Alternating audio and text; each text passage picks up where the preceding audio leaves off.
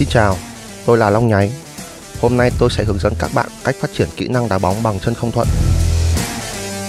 Bước 1 là tạo cảm giác bóng. Dành riêng 5 phút cho mỗi buổi tập để tập luyện nâng cao cảm giác bóng với chân không thuận như tâng bóng, dê bóng, chuyền bóng bằng một chân.